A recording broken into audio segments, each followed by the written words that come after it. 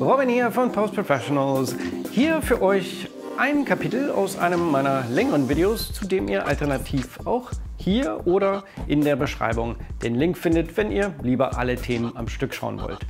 Und wenn du neu hier auf dem Kanal bist und nach einem umfassenden Training für Final Cut Pro auf Deutsch suchst, wo du wirklich alles Wichtige über Final Cut Pro lernen kannst, was es zu lernen gibt, dann schau gerne bei uns auf der Seite vorbei. Der Link dahin auch in der Beschreibung. Jetzt aber frohes Lernen.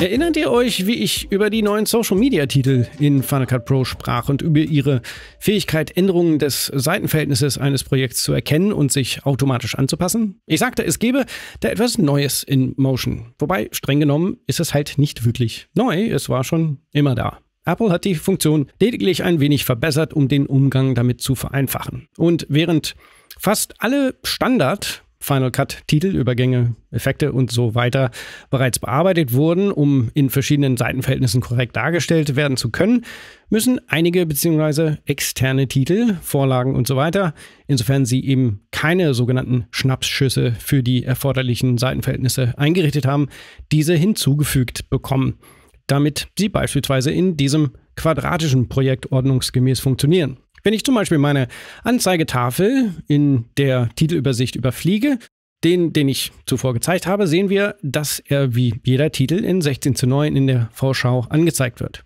In diesem Fall sieht er vollkommen okay aus. Wenn ich jetzt eine Instanz mit jedem Clip in meinem quadratischen Projekt verbinde, können wir sehen, äh, dass die Welt nicht mehr ganz so in Ordnung ist. Ich kann mal ein paar zufällige Werte eintragen den Sport entsprechend wechseln. Aber der Titel wurde im Grunde nur zentriert über mein Video platziert und nicht einmal passend skaliert. Daher wird es auf beiden Seiten beschnitten und die Textfelder für die Teamnamen befinden sich außerhalb des sichtbaren Bereichs. Und selbst das Skalieren funktioniert nicht da, dadurch auch das darunterliegende Video skaliert wird, wie es eben bei den Titeln aufgrund der Titelhintergrundebene manchmal der Fall so ist. Aber wenn man Motion hat, und ich empfehle jedem, es in seinem Arsenal zu haben, zumal es nur mickrige 50 Euro kostet, ist dies tatsächlich sehr einfach zu korrigieren. Selbst für jemand, der noch nie etwas mit Motion gemacht hat, weil er es als sehr einschüchternd empfindet. Denn alles, was ich tun muss, ist mit der rechten Maustaste auf den Titel in meiner Titelübersicht zu klicken und in Motion öffnen auszuwählen. Übrigens, wenn dies einer der Standard Final Cut Titel wäre, würde es heißen, eine Kopie in Motion öffnen. Und siehe da, der Titel wird in Motion geöffnet. Jetzt muss ich nur noch die Projektebene ganz oben in meinem Ebenenfenster auswählen, zum Informationsfenster wechseln und den Projektreiter wählen.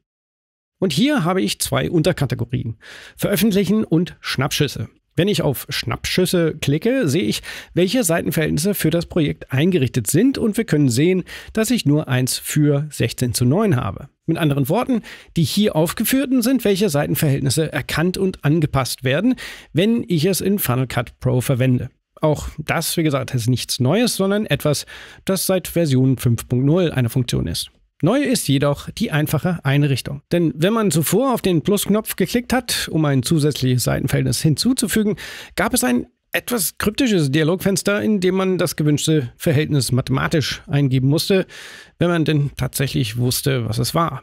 Jetzt ab Version 5.4.6 klickt man einfach auf den Plusknopf und erhält ein einfaches Pop-up-Menü mit den gängigsten Seitenverhältnissen zur Auswahl. Also alles von 1,8 zu 1 bis 9 zu 16 und ich habe immer noch die Möglichkeit, ein beliebiges benutzerdefiniertes Seitenverhältnis unten einzugeben. Damit dieser Titel in meinem quadratischen Projekt funktioniert, wähle ich einfach die Voreinstellung für das Seitenverhältnis 1 zu 1. Damit wird es meiner Liste der Schnappschüsse hinzugefügt. Wenn ich es auswähle, wird die Canvas sofort entsprechend angepasst und wir sehen, was wir in Final Cut gesehen haben.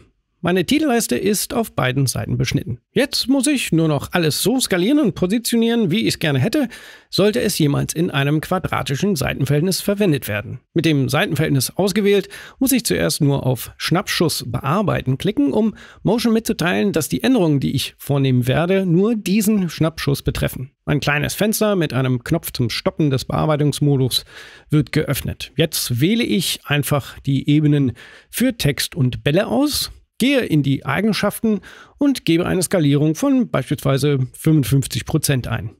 Sieht gut aus. Jetzt muss ich nur noch auf die Ebenen klicken und sie ziehen, während ich die Shift-Taste gedrückt halte, um die Bewegung vertikal einzuschränken und sie am unteren Ende des Bildes zu positionieren, wo sie hingehören. Ich kann die Bälle sogar etwas höher positionieren, um den leichten Perspektivwechsel auszugleichen, da es sich immerhin um 3D handelt. Und fertig. Nachdem ich auf den Bearbeitungsmodus Stoppen-Knopf geklickt habe, kann ich zwischen den beiden Schnappschüssen wechseln, um zu überprüfen, ob alles auch so ist, wie ich es wollte. Natürlich könnte ich das gleiche für ein Seitenverhältnis von 9 zu 16 machen, wenn ich es bräuchte. Aber ich lasse es vorerst dabei, schließe das Projekt und speichere natürlich.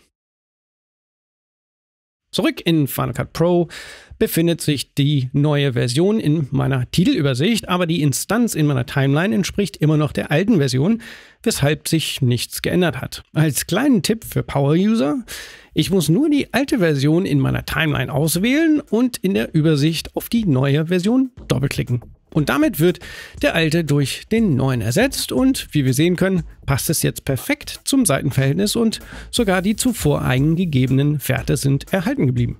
Und das ist im Grunde alles, was man über die neue Funktionalität des Seitenverhältnisses wissen muss. Aber sollte ich etwas vergessen oder übersehen haben, lasst es mich in den Kommentaren wissen. Hat dir das Ganze geholfen? Dann würde ich mich mega freuen, wenn du dem Kanal und mir mit einem einfachen Daumen hoch oder gar Abo und kleiner Glocke helfen magst, dass ich auch weiterhin solche Gratis-Tutorials produzieren kann und du sie auch nicht verpasst, wenn sie rauskommen. Dafür jetzt schon ein riesen Dankeschön und ich hoffe euch im nächsten oder vielleicht in einem dieser Videos wiederzusehen, die YouTube meint, ihr auch gesehen haben müsst. Bis dann, bleibt gesund.